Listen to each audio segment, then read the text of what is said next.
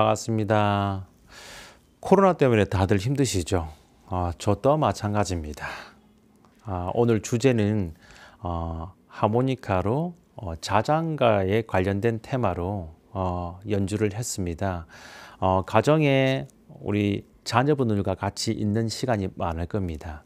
어, 애들이 한 번씩 낮잠을 자든지 휴식을 취할 때 저의 하모니카 자장가 테마로 조금 마음의 위로가 되고 부모님들도 마음의 휴식이 되는 그런 목적을 위해서 제가 이 연주를 했습니다. 아무튼 어려운 시기에 저의 연주를 통해서 어, 어려운 시기를 잘 극복해 나가고 가정에 화목한 평화가 있기를 어, 당부드리겠습니다. 감사합니다.